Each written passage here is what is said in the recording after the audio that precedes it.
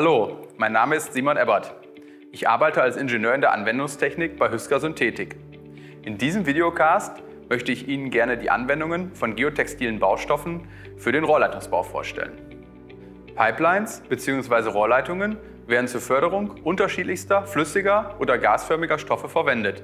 Bei diesen Stoffen kann es sich beispielsweise um Erdgas, Trinkwasser oder Abwasser handeln.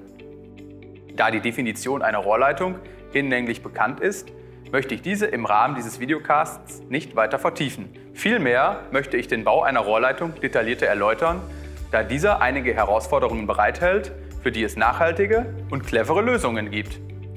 Diese möchte ich Ihnen im Folgenden schildern. Starten werde ich an der Sohle des Rohrgrabens, um mich dann Stück für Stück an die Oberfläche vorzuarbeiten. Je nach anstehendem Boden bedarf es einer gesonderten Bettung des Rohres, insbesondere die differenziellen Setzungen zu unterbinden und das Rohr gegen Beschädigungen zu schützen. In Abhängigkeit der Anforderung kann diese Bettung mittels eines geotextilen Bettungspolsters erfolgen. Vorteile sind die dadurch in der Regel geringere Aushubtiefe des Rohrgrabens und die Möglichkeit der Anwendung auch bei sehr weichen Böden. Ein Bettungspolster wird vorzugsweise aus einem Komposit hergestellt, welches aus einem Geogitter und einem Fließstoff besteht. Auf die Vorteile eines Komposits gehe ich in der folgenden Anwendung detaillierter ein, in der ich Ihnen die Lösungen für die Ballastierung und Auftriebssicherung aufzeigen möchte. Rohrleitungen führen oftmals durch Gebiete mit einem hohen Grundwasserstand und kreuzen in der Regel in ihrem Verlauf auch Gewässer. Daraus resultiert die Notwendigkeit, die Rohrleitung gegen Auftrieb zu sichern. Um Rohrleitungen gegen Auftrieb zu sichern, müssen diese durch entsprechende Maßnahmen lagestabil im Rohrgraben gehalten werden. Die Auftriebssicherung von Rohrleitungen erfolgt in der Regel durch Ballastierung.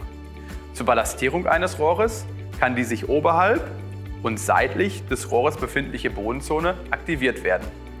Dazu wird diese in ein Geotextil eingepackt und liegt anschließend wie ein Sattel auf dem Rohr auf. Diese Anwendung kommt vorzugsweise bei Rohren oder Tanks mit Durchmessern größer als 1,50 Meter zum Tragen. Zum Einpacken des Bodens sollte je nach Bodenart idealerweise ein Komposit aus einem Geogitter und einem Vlies gewählt werden. Durch das Komposit wird verhindert, dass der eingehüllte Boden infolge von Umlagerungsprozessen aus der Ballastierung entweichen kann. Bei der Bemessung der erforderlichen Zugfestigkeit sowie der Auswahl eines geeigneten Komposits unterstützen wir Sie gern. Eine weitere Möglichkeit bietet die Ballastierung aus Beton. Der Vorteil des Einsatzes von Beton ist in diesem Fall die gleichzeitige Funktion als mechanischer Schutz der Rohrleitung. Die Betonballastierung kann dann entweder analog zu der Aktivierung der Bodenzone oberhalb des Rohres omegaförmig auf dem Rohr liegen, was in der Regel eher für den nachträglichen Einbau bei In-situ-Rohrleitungen zur Anwendung kommt, oder aber als Rohrummantelung ausgeführt werden. Die Ummantelung der Rohrleitung erfolgt vor Einbau der Rohrleitung um die gesamte Rohraußenhülle. Zur Schalung des Betons kann eine textile Betonmatte eingesetzt werden. Das textile Schalungssystem besteht aus zwei geotextilen Lagen, die in regelmäßigen Abständen miteinander verbunden sind.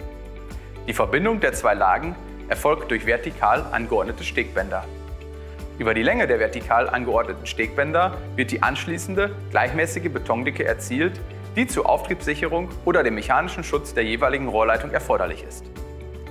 Mögliche Betondicken für diesen Anwendungsfall liegen zwischen rund 7 und 30 cm.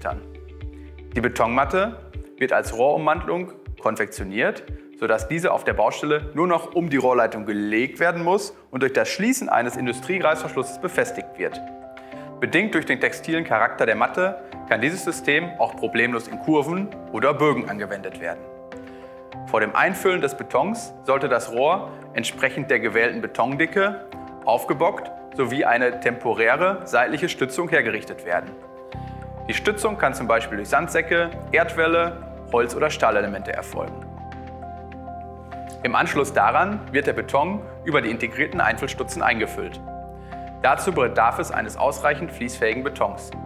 Als vorteilhaft haben sich selbstverdichtende Betone mit einem Setzfließmaß von mehr als 630 mm erwiesen. Hierbei wird der Beton bzw. der Mörtel mittels konventioneller Pumptechnik in das Innere der textilen Schalung gepumpt.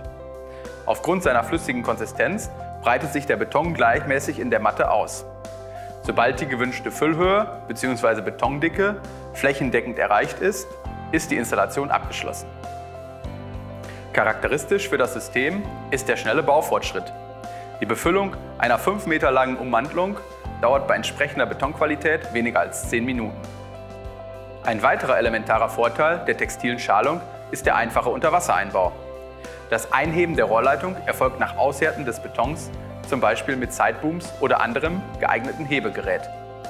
Die Anwendung der textilen Rohrummantelung beeinträchtigt den kathodischen Korrosionsschutz einer Rohrleitung nachweislich nicht. Alle Vorteile der soeben vorgestellten Betonmatte lassen sich übrigens auch in der indirekten Abdeckung einer Rohrleitung vereinen.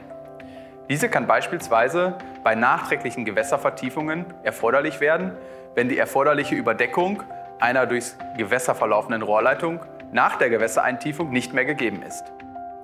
Bedingt durch den problemlosen Unterwassereinbau wird die vorkonfektionierte Betonmatte im Anschluss an die Eintiefung oberhalb des Rohres flächig auf die Gewässersohle ausgelegt und mit Beton befüllt.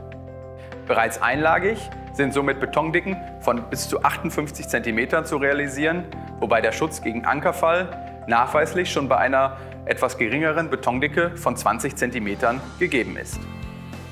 Der Schutz einer Rohrleitung gegen Kratzer oder Beschädigung der Beschichtung kann durch die Ummantelung der Rohrleitung mit einem Schutzfließstoff erfolgen. Auch durch die Anwendung eines Schutzfließstoffes wird der kathodische Korrosionsschutz nicht beeinträchtigt. Mit der Vorstellung der Möglichkeit der Installation eines Rohrwarnschutzes möchte ich den Rohrleitungsgraben thematisch verlassen.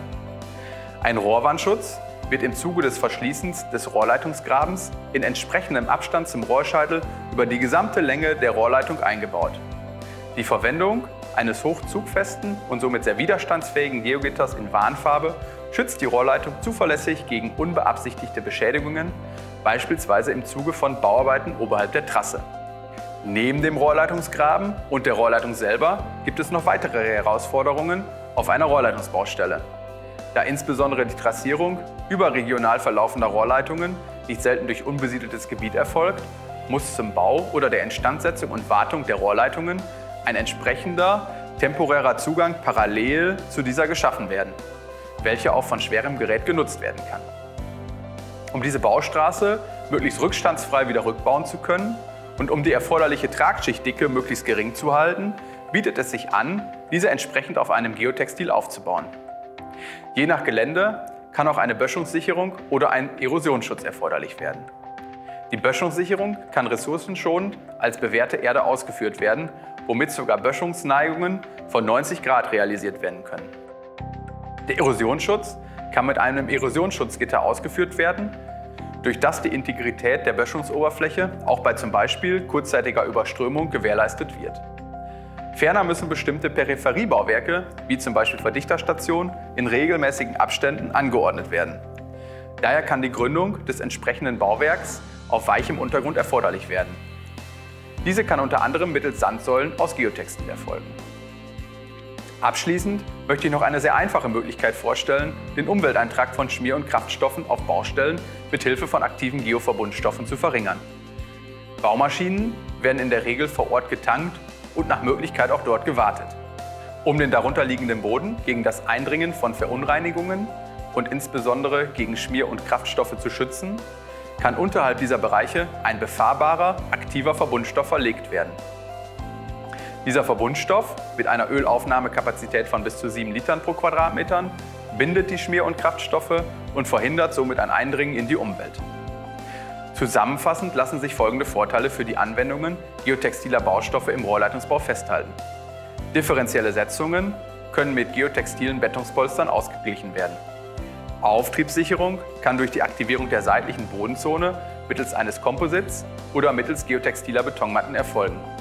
Auch vor äußeren mechanischen Einwirkungen können Rohrleitungen mit Schutzfließstoffen oder Warnschutzgittern geschützt werden. Summa summarum können Baumaßnahmen mit der Hilfe von Geotextilien schneller und sicherer durchgeführt werden und auch die Umwelt kann während der Bauarbeiten geschützt werden. Ich hoffe, diese Präsentation war interessant für Sie. Sollten Sie an weiteren technischen Details und Hüsker-Lösungen interessiert sein, informieren Sie sich doch bitte auf unserer Website oder kontaktieren Sie uns gern persönlich. Wir freuen uns darauf, Sie persönlich zu beraten.